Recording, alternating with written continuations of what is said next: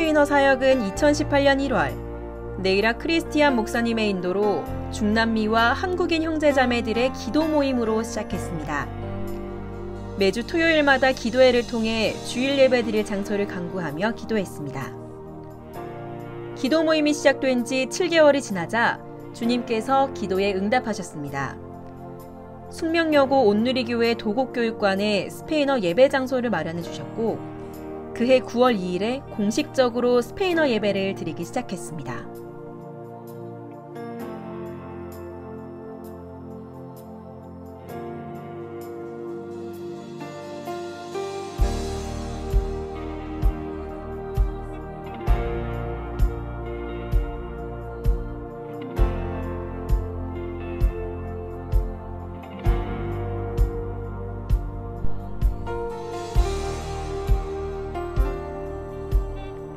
1번 예배 때에는 남미 성도들과 초대 손님들, 온누리교회 M센터 담당 목사님, 선교사님, 장로님이 함께 참석하셨습니다.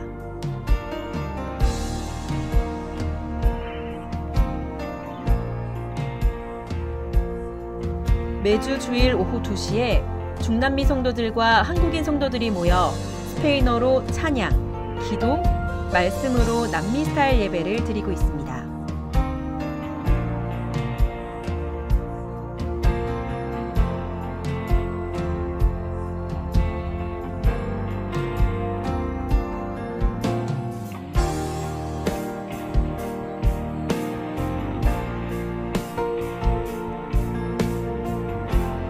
매주 주일 예배 후에는 중남미 사람들을 위한 한국어 교실과 한국 사람을 위한 스페인어 교실이 진행되고 있습니다.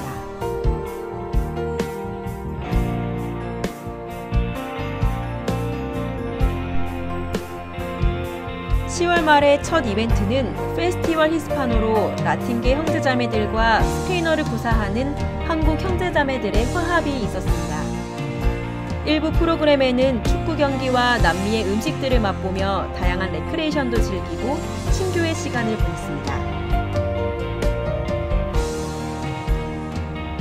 2부 프로그램에는 스페인에서 훈련된 성악가와 기타리스트, 외국인 전통 무용수들이 함께하는 뮤직 페스티벌 시간도 함께했습니다.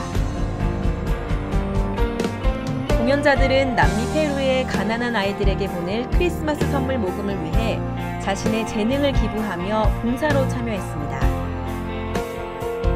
공연 내용으로는 스페인의 사르수엘라와 플라멩코, 남미 안데스 음악과 페루 발리차와 우아이노춤, 멕시코의 마리아치로 함께 노래를 같이 부르며 즐거운 시간을 가졌습니다. 또한 네이라 목사님이 짧은 메시지를 통해 하나님의 사랑에 대해 전하였습니다. 정말 잊을 수 없는 축제였습니다.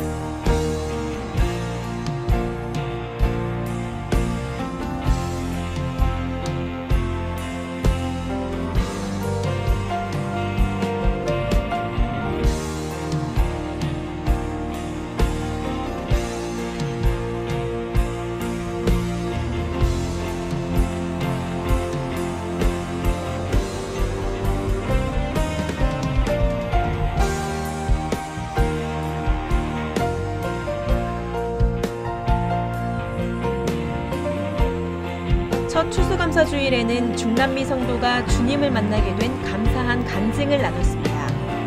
그리고 페루 리마에 있는 가난한 교회 주일학교 크리스마스 선물을 위해 기부금을 전달했습니다.